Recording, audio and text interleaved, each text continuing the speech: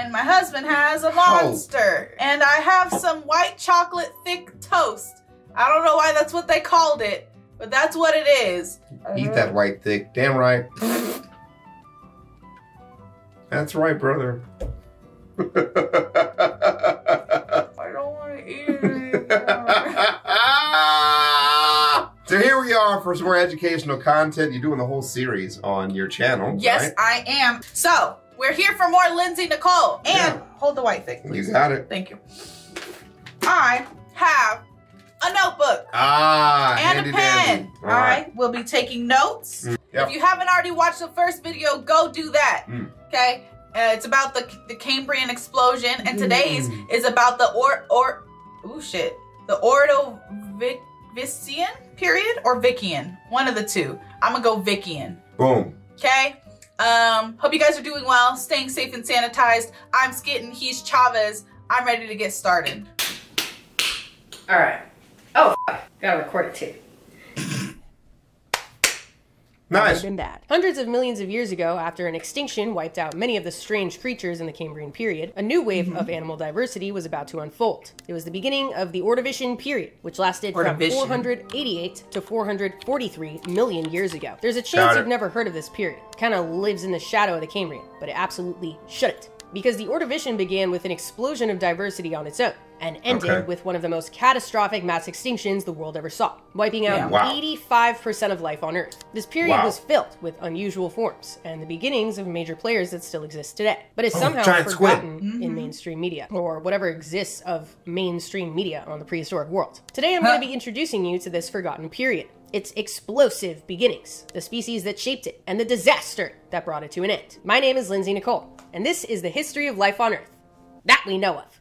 Right, we know of. You might have seen the merch is finally out, and I'm absolutely stoked with how it came out. It's called the That We Know of collection, featuring two shirts, one of them with the geologic time scale on the back, this one with a two headed snake on the back, which is cool as fuck, and a Smile It On hoodie, which has facts and cool pictures on it. I don't know if it's like weird to wear your own merch, but I wanted to make stuff that I would wear, and I've been wearing all of it constantly. It's all comfy as fuck. The shirts are really soft. I don't know if you can tell. And the hoodie is really cozy, but still like cool to wear outside, you know? Like a lot of hoodies are really comfortable, best of both worlds. And that is exactly what I wanted, and I'm just stoked with how it turned out. So I highly recommend checking them out. You can because I know that you can do that, but maybe I won't. But whatever the case, make sure to check them out. What the world looked like during the order. Please send me pictures because it would make me really happy. All right, on to what the world looked like during the Ordovician. Just like in the Cambrian, most of the northern hemisphere was submerged underwater, with the supercontinent Gondwana and other land masses taking up the majority of the southern hemisphere. And throughout this hmm. period, Gondwana started shifting towards the South Pole, and eventually made it there. Remember that for later. Near the beginning of this period, Okay. the global climate was generally warmer, the atmosphere was generally moist. Ugh. And during this time, a diversification event was taking place that was essentially the Cambrian explosion 2, just 50 million years later. Only this hmm. time, it was called the Great Ordovician Biodiversification Event. What Okay. the fuck is that? The All right. Ordovician period needs a PR campaign because that mouthful is not going to make anyone want to learn anything. It's the G O B E. The Gobi, The Gobi.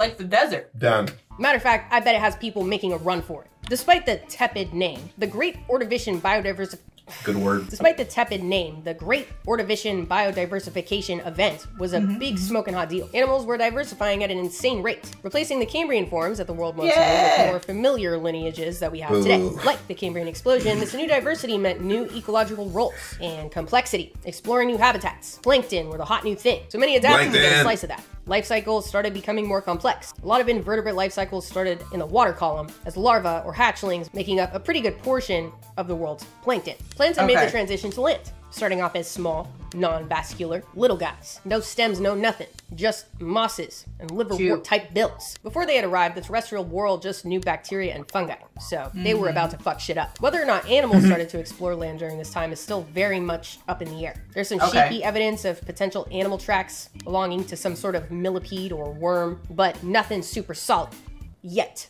That we know of. Regardless, the oceans were popping off. Reef communities were starting to develop, and many corals, clams, and snails started appearing for the first time. Horseshoe crabs came into the mix, and crinoids Yeah. and cephalopods were establishing themselves and diversifying. Mm-hmm. Remember back in the Cambrian period, vertebrates were starting to develop, with Haikouichthys and pikaia type shit. So what were the fishies up to now? Let's start off with my favorite. Feast your eyes on Sacabambaspis, a tiny jawless sorry? fish that lived about 470 to 450 million years ago. The armor was some cool new shit that a specific group of fishes, the Arandaspids, were starting to develop. Sacabambaspis is one of the best known and oldest Sacabambaspis. That we know of. They're about 10 inches long and kind of look like tadpoles due to their flat body, massive head, and lack of fins. And their armor covered their No entire fins. body. Their head was encased in a shield of bony plates. And down their body, they had these rows of scutes. These stone-looking pieces that some animals have today, like turtles on their shell have them, birds have them on their feet, crocodilians, etc. This helped them have a fighting chance against some of the pretty heinous predators of this period that we'll get to in a bit. Another I'm unusual thing about Sacabambaspis was their front-facing eyes. Really makes them stand out against your average fish, and also makes them look cute as fuck. I mean, this face, this face is ridiculous. He and if like you've been following me for a while, you know I love this. Right. face. I even named one of my Patreon tiers after it. Da-da-da-da. Shameless plug. Sacabambaspis was not a very graceful swimmer since they had no fins to stabilize them. Looked like tadpoles and moved like tadpoles. But Sacabambaspis displays some of the earliest evidence of a lateral line, which is a big deal for fishes. It's a sensory organ that fishes have hmm. today that runs down their body that detects movement in the water. It's what makes schools of fish oh. so graceful, not bumping into each other or anything. Right. Serious stuff. How about that hmm. tiny ass mouth? Like I had mentioned in the last episode, Jaws hadn't evolved yet. We still don't have Jaws. So they likely hmm. fed on the seabed, sucking up little bottom dwelling organisms, or maybe organic matter on the seafloor. Not much else they could do that we know of. Some other Stop fishes that. dealt with this lack of jaws in a different way, with some weird ass fucking mouths. These are the conodonts, a group of Oh eel my jawless goodness. fish that Okay, hold on. Let's recap. It's been five minutes. We've gone through a lot of stuff. 'Kay. We're at like 480 to 440. Yeah. Give me the exact numbers. 488 to 443. And then where are we at with the, the name of the actual ex- new explosion, new Cambrian explosion. The? Great Ordovician. Hold on. Ordovician. Great Uh huh. Ordovician Uh huh. biodiversification Event. event. Boom. And of course, Saka Bam. Sacabambaspis. Bam Sacabambaspis. Mm, mm. That is not twerkable. Mm, Everything's twerkable if you believe. I can see that. a group of eel-like jawless fish that are thought to be related to hagfish today. Checks out. Ah. The conodonts were a really successful group. Ah, they found all over the world up until the Jurassic. So their fossils have been found all around the world as well. Originally, they were only known from their teeth, first discovered in the hmm. 1850s, which were more unusual than most. So scientists had a tough time placing the teeth into what animal group they belong to. Maybe some sort hmm. of worm or mollusk. But then in 1983, a group of extremely well preserved fossils placed them in the fish, based on soft tissue found around these teeth elements. It showed an eel like body, a notochord, remember from last time, the mm-hmm, vertebrate mm-hmm. trait, and some remember the tweaky ass eyes. Damn. And of course, the teeth were in their mouth, but also down their throat. Absolutely vicious. Possibly used Wow. to rip and slice their prey, but also maybe used for a more innocent lifestyle of filtering plankton. Whatever they were doing worked really well for them, obviously. They were around until the Jurassic. That is like 300 million years. So Wow. this shit was Nice. let me show you one in particular. Panderodus. Clearly, Oh there's a lot to take my in here. And God. no offense to them, I say this in the most scientific way possible. This is some of the most heinous shit I have ever seen in my Yeah. entire life. I will say this is a life restoration done by paleoartist Prehistorica based on a specific conodont specimen described in this paper. It seems like there needs to be some revisions to place the teeth more inside the mouth to resemble Okay. hagfish more, but Oh, the arrangement God. is heinous nonetheless. This is actually not even my point of bringing up Panderodus, so let me get back to that. Species in this genus display evidence of being venomous. Some fossil specimens of the mm. teeth have That's found little grooves inside of the teeth, which Yeah. indicate they might have had venom, which, if true, this means these would be the earliest venomous animals that we know of. So good Yeah. for the jawless fish. No jaws, no problem. Moving on to our beloved trilobites. Trilobite! The Yeah. Ordovician was their bread and butter. They were doing all Roaches. sorts of cool shit and diversified much more than their relatives in the Cambrian. They had all sorts of new spines and weapons as defense against the new predators. Some The trilobites even evolved a shovel-like snout to dig through the sediment. Some started swimming, some developed eye stalks, and some decided they didn't Ooh. need oh. eyes anymore at all. Figuratively speaking, No I realize. I, I speak like that sometimes, making it sound like animals are choosing their evolution.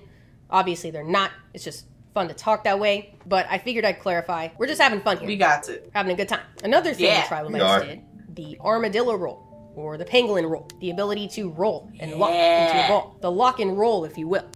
That's also what Ah. my wife does when she gets beat up. Mm, mm, mm,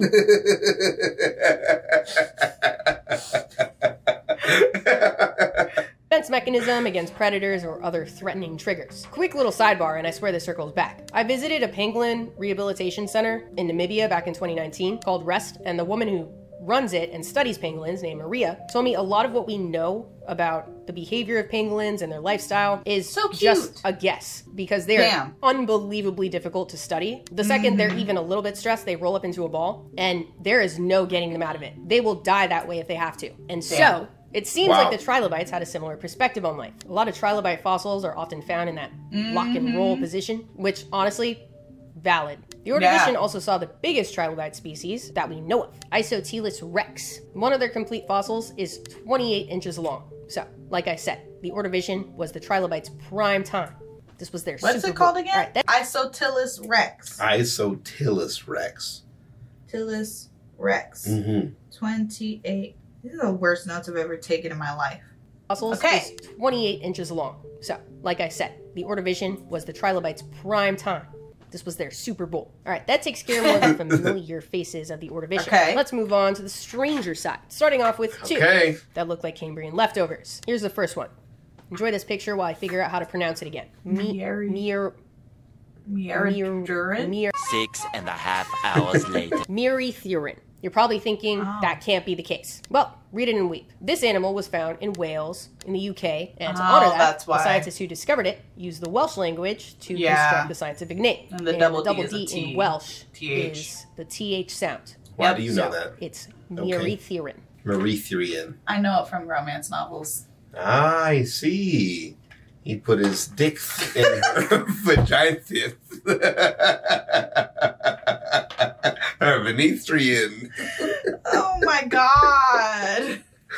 She's like, mmm, yes, mmm. Was that how you think my is that how you think my romance novels go? mm, it's not Oh thrust, my. it's thrusting. Rough. So it's Mieridduryn. It translates to bramble snout. Bramble, hmm. which is apparently in reference to the animal's spiky proboscis. I looked it up mm-hmm. because I thought there is no way that word is not some sort of British chicken scratch. But according to the Cambridge Dictionary, a bramble is a wild Yeah, bush it's a type with of Yeah. thorns. I don't want to call it either of those things. I don't want to keep saying Mir- Mieridduryn, and I don't want to call it bramble snout, so let's just call it Binks. No reason to make this any harder than it needs to be. Sure. If you watched the first episode of this series, you might be thinking that Binks is some sort of leftover version of Opabinia, which is pretty Mm-hmm. surprising because Opabinia was a lone wolf in the abyss of taxonomy. For over a hundred years, up until last year when Utaurora was found to be Opabinia's relative from the same time. Turns out the day that Utaurora paper was published, the lead scientist of the paper, named Joanna Wolfe, saw a picture of Binks and was like, no fucking way. There's a third one. Would you believe the luck of that? Whether or not Binks was related to Opabinia is still a mystery. They have plenty of similarities. The proboscis, a mm-hmm. backwards facing mouth, legs underneath the undulating body flaps. But mm-hmm. Binks was alive 40 million years after Opabinia and had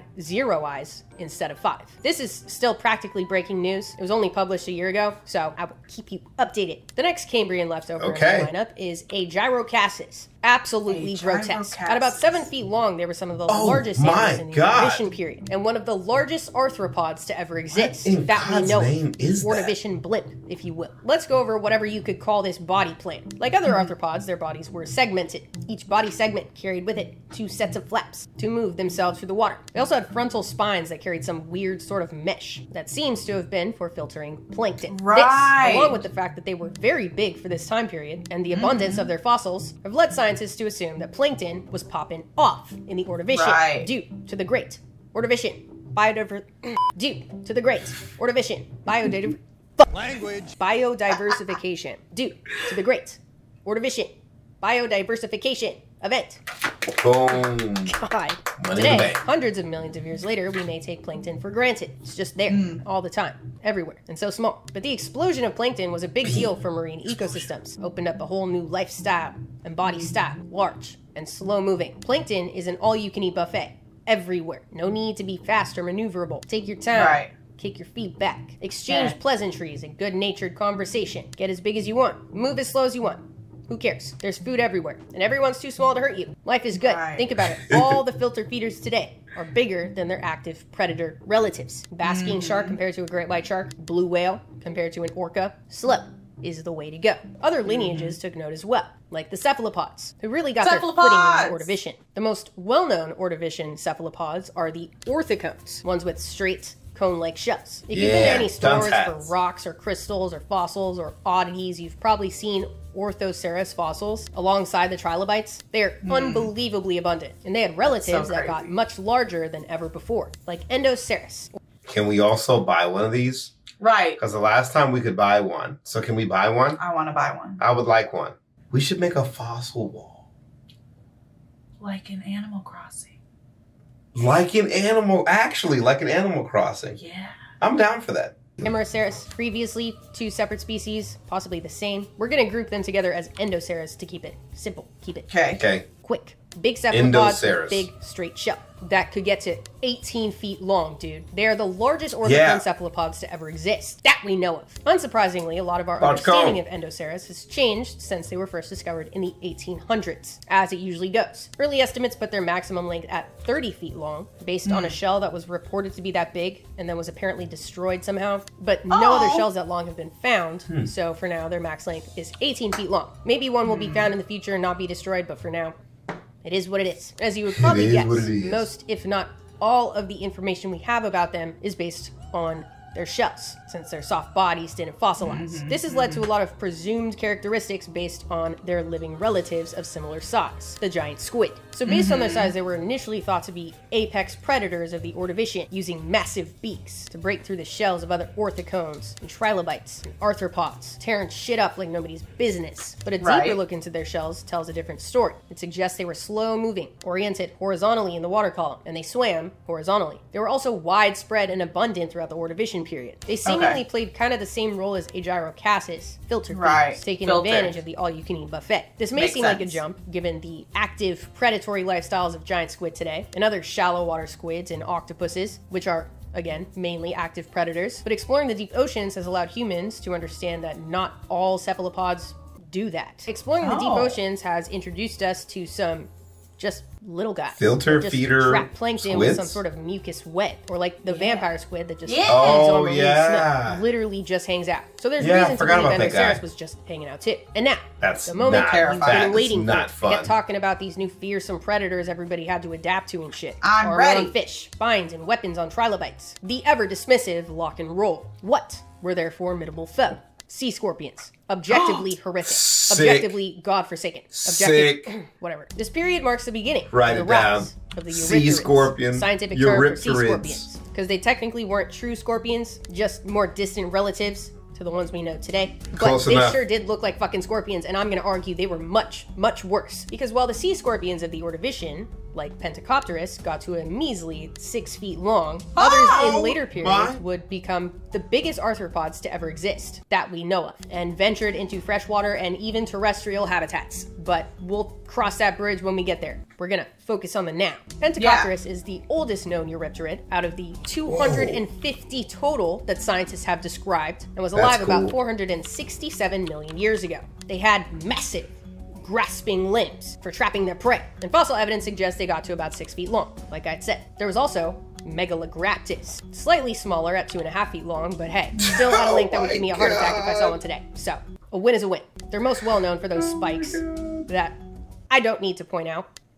Coming off of their third pair of appendages. Personally seem a bit overkill to me, but clearly worked very well for them to find and trap prey, possibly located underground in the sediment. While sea scorpions lived on to terrorize the oceans for millions of years after the Ordovician, the vast majority of life at this time did not make it out. Like I said at the beginning, the end of this Big period extinction is event. marked with a mass, a massive mass extinction. So, Okay. just just to recap, Okay. 488 to 443. yeah, million years ago, Mhm. something like that. So, at this point in time, Yes. hella plankton everywhere. Everywhere, It's yeah. abundant. Yeah, I can filter, so I'm big. Squid. Yes. Filtering squids. Big conehead squid. See, Neat, look, I drew. I put, I drew a big conehead. Did you really? Squid. It's see. not well, but he got a cone head. Okay. Okay. Um, I also tried to draw a trilobite. Trilobite. He's in there. He's with their there. segmented bodies and now Yes. elongated eye stalks, and some of them were also blind. Yeah, and some of them have spiky things. Yeah, They gotta and they protect do what with the roll? The little lock and Lock, roll. Stop, lock, and roll. Stop. Lock and drop it. Stop. Look. Lock and drop. do it don't you no, don't you I'll do stab it- me. Do Don't you don't you stab me. okay, we have Sacabambaspis. mm-hmm, mm-hmm. And they didn't have fins, and they looked like pet But rocks. they did have the line. yeah, What's it called? The landline? something like that. Um, and then I wrote condodonts, and all I wrote for them was weird mouth, big eyes. okay. They're eel like. and I wrote big for Isotelus rex, which was the big trilobite, Mm-hmm. 28 inches. Also, don't forget, Great Ordovician Biodiversification Event, Mm-hmm. Mm-hmm. the Gobi. The Gobi. Gobi. Rest in peace. And Opabinia, question mark. I don't know why there's a question mark there. I must have been confused about something. And I wrote no eyes. Uh, sea scorpions, Eurypterids. Eurypterids. that's the word. 250 different kinds of species, and Pentecopterus was I was about 467 say million years ago, Yeah, and they were six feet Yeah, long. yeah. They were longer than I am tall, And the small version is two and a half feet long, which is still massive. which is still humongous. Let's do it. The vast majority of life at this time did not make it out. Like I said at the beginning, the end of this period is marked with a mass, a massive mass extinction that wiped out 85% of species alive at the time. The second deadliest mass extinction that we know of, just after the Great Dying, at the end of the Permian, which we'll get to in a couple months. You've probably hmm. heard that there have been five true mass extinctions in life's history. Yes. Since the beginning of the Cambrian, and we're currently entering a sixth. So, a true mass extinction is when more than 70% of species alive at the time die out in a hmm. relatively short period. So, major events, very, very big events. So the Ordovician extinction is the first true mass extinction. And if I were alive during this period, I would have been fucking pissed the way this panned out. There were multiple phases of this mass extinction that had life bopping around all over the place. In the first phase, the Earth got slapped with a global cooling event. Remember, during this period, Gondwana was in the southern hemisphere, ah. making its way over the South Pole due to plate tectonics. That supercontinent, which carried with it an enormous amount of coastal ecosystems, became engulfed in glaciers because of the cooling. This led to lower sea levels, which led to many of those shallow water and warm adapted species to get booted. This wasn't the Yeah. end of the world because there were cold adapted species that were doing okay, or more generalist species that could adapt with the changes and made it out. They were chilling for a bit because that global cooling lasted from like half a million to 1.5 million years. Ah, Seemed to be bit. smooth sailing. Nope, Earth got slapped with a global warming. The ice age was over Damn. and the cold adapted species got kicked to the curb, hung out to Damn. dry. Damn. Global oxygen levels in the water crashed, so anything left hanging by a thread got strangled with bare hands and mm-hmm. spit on. By who, though?